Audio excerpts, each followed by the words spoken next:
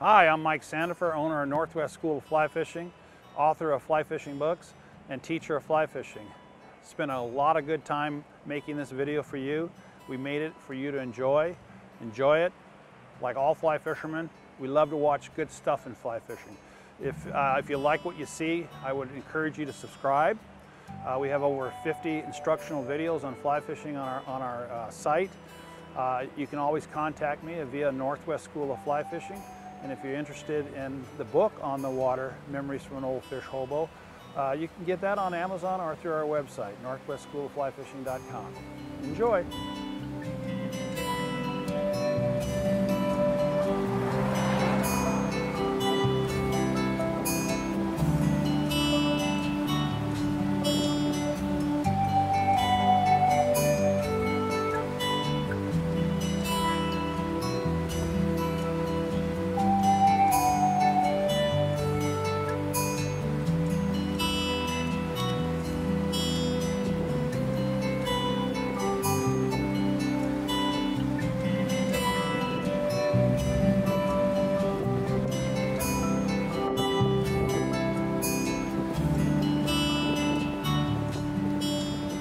Trying to maneuver that fly out there and then get it to, to, to, float naturally when this wind is tough.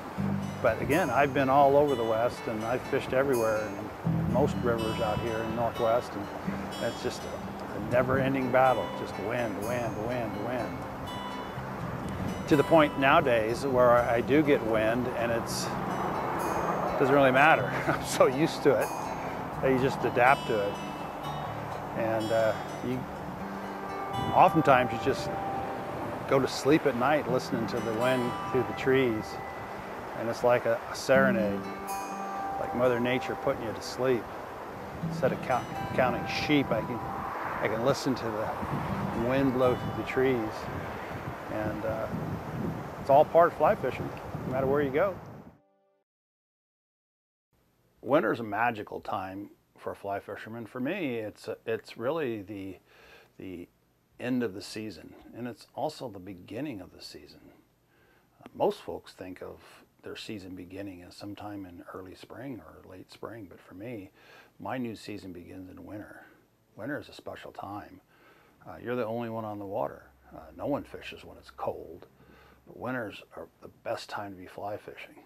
Uh, the midge, the, the midge, it hatches every day, 24 7, 365. And wintertime is the time of the midge. Uh, when I see fish rising, they can only be eating the midge. Uh, there's a beauty of winter. It's quiet. It's just you, the water, and the trout. There's no one around. You have it all to yourself. It's befitting for me to call winter my beginning.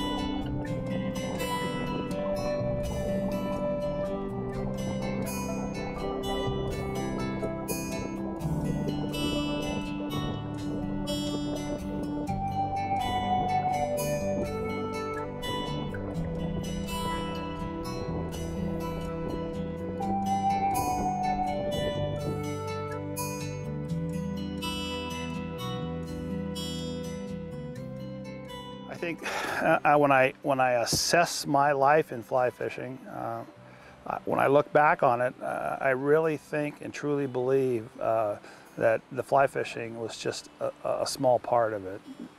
It was it was for me really the uh, the metaphor or the end or or an excuse to go somewhere new and formulate a, a, new adventure for me. Uh, I think that that's what it's been for me after all these years, and it just uh, got to the point in my life where, uh, outside of faith and family, uh, fly fishing was all I ever thought about it. You know, six decades later, fly fishing is all I ever, all I ever think about. It's all I all, all I want to do, um, and I'm at, at peace when I'm fly fishing.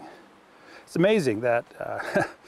I can go out all day long, and, and, and when I drive back home, it's like uh, I'm in a really good mood.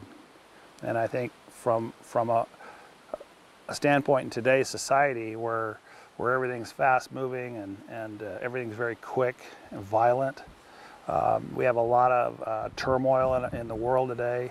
Uh, anytime that you can get a break and get away from that, uh, I think fly fishing is the ticket to do that. And it certainly has been for me. And uh, uh, but beyond that, you know, we have to look beyond fly fishing. We have to look at, at the popularity of it today, and we have to look at, at uh, our resources. You know, these, these rivers that we have, our, our tailwater rivers and our freestone rivers, they're special, and we have to keep them that way. Uh, you know, uh, uh, between all the agencies that run them and all the people that want to fish them, uh, it's our job really to uh, take care of our rivers and our streams uh, so that our grandchildren can have the same experiences that we had growing up. And, uh, and I, I, think that's my driving force from this point on, really, is, is protecting our resources and uh, uh, uh, making sure that we continue to educate the, the fly fishing base and, and the, and the non-fly fishermen how special these rivers really are. And as, uh, as life goes on, I think that's pretty much probably going to be my mission in life. Yeah. Yeah. Protect what we have. When you've had joy for six decades, uh, it, it, scares you when you see rivers that are abused, uh, taken advantage of, sucked dry, uh, over recreated, uh, over over managed. Uh, it, it's um, you know it's something that we can do and uh, that's probably what I'll end up doing the rest of my life.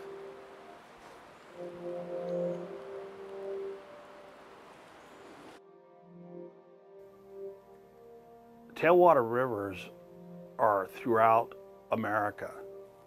And in terms of the West, the great rivers of the West are tailwaters. Tailwaters are rivers that are born from the bottom of a dam. And they're famous. We have many, many rivers. Most famous rivers are tailwater rivers. And the reason is because the water that comes out of tailwaters is highly nutritious and temperature controlled, perfect settings for trout. The water has been fertilized by Mother Nature. And that fertilized water creates incredible biomasses, that creates incredible insect life, that creates incredible trout that uh, zone in to narrow search images where casting tiny dry flies can catch you the largest trout in the river. Tailwater rivers, it is the drug that encapsulates all fly fishermen.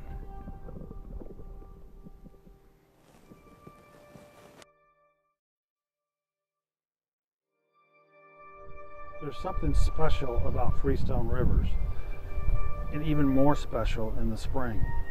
Freestone rivers are just that, they're free. Um, they're free of any, any kind of uh, human obstruction. They're born from the mountains. Uh, they're full of wild trout, hungry wild trout.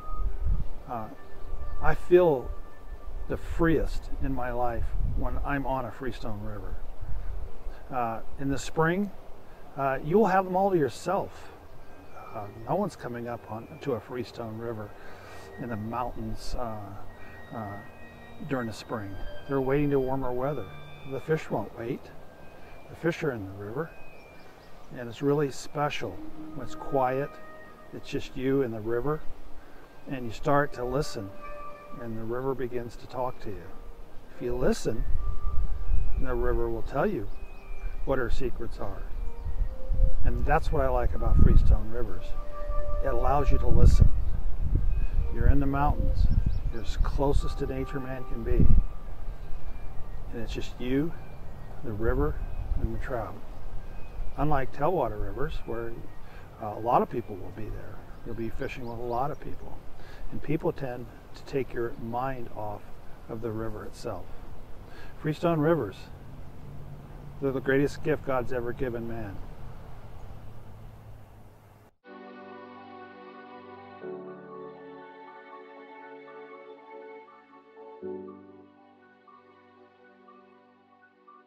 in Silver Creek, Idaho, the anglers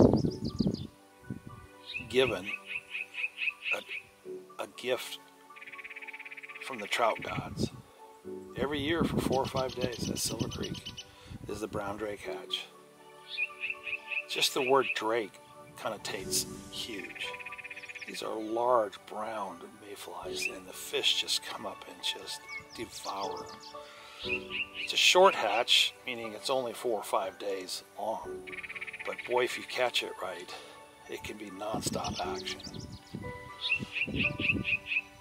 No other place can I think of where there is a, a mayfly hatch where the trout become punch drunk on, on, on green drake naturals and it's just as simple as locating a pot of fish and putting your fly right through the middle of them.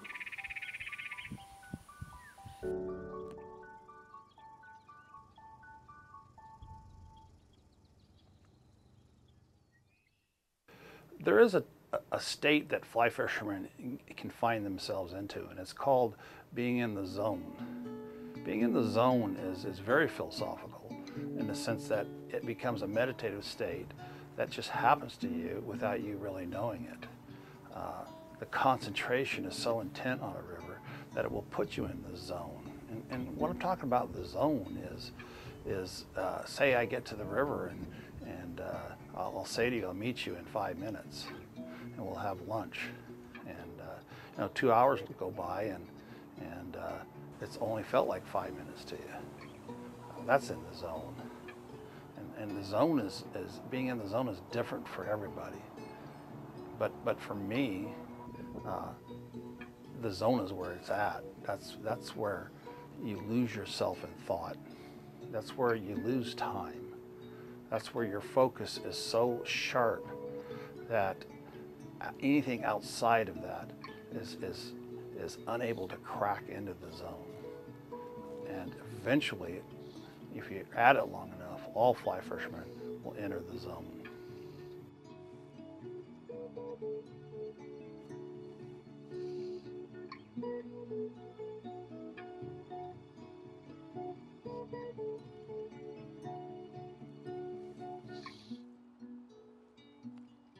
Whitefish.